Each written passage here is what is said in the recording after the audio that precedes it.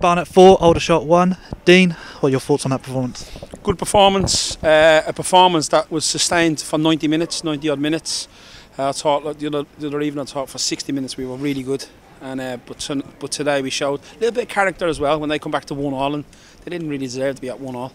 Um, and we made a couple of subtle changes that helped us to go and convincingly win the game. Um, so very good to score four goals at home, and I'm a little bit disappointed we didn't keep a clean sheet because they didn't have many chances, and sort of the one they had they took. Um, but yeah, all in all, a great team performance. You say at 1 1, with the form of lately, it could have uh, quite easily heads gone, but they put dug in deep and uh, got a good win today. Yeah, look, form lately, we were unbeaten for over three months, over a week ago. So this division's so hard. So, you know, people look at three games. You're going to Notts County, um, gave a good account of ourselves for 75 minutes. Uh, we looked tired against Torquay second time round. Uh, when I look back at the performance, and I thought the other day for 60 minutes we were very, very good, and we just went rogue and we lost that discipline against Altrincham, um, even they, when they go back to uh, to 2-2. So today we didn't lose our discipline.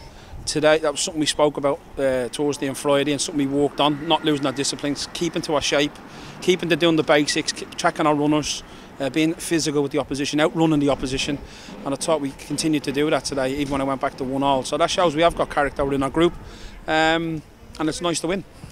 Harry Smith, six and six. How how great has he been since he joined the club? Yeah, this is top player. You know, that's what we went all out from. We did what we had to do to get him. So support we had from the chairman on that was outstanding.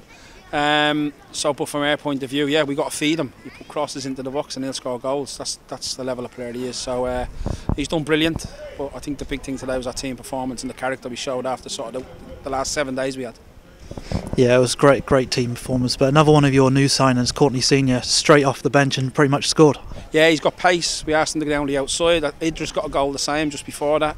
Um, it's just started to jade a little bit, so it's good to have that strength and depth off the bench. And I thought Woodsy did a great job when he come off the bench as well. He got physical in midfield. When they started to get a little bit on top, when they got their equaliser, Woodsy come on and gave it, made a little bit of difference in midfield. And Ryan come on to the right hand side.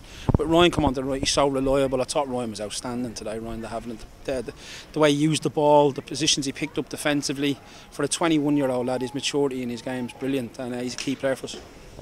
And uh, finally, just a message for our supporters. A great fine voice, especially battalion behind in the blocky. How great were they today? Yeah, brilliant. We were getting something to sing about, and that's so important. And uh, they drove us forward, especially when they come, they come back to one all. And like I say, we we should, sort of should have been two, three nil, probably out of sight by that stage with the opportunities we had and, and missed. Um, but to be fair to them, they drove us forward, and they were our 12th man today. And I uh, want to thank them for that. Keep the positive support, and we move on to Oldham on Tuesday. Dean, thank you for your time. Cheers.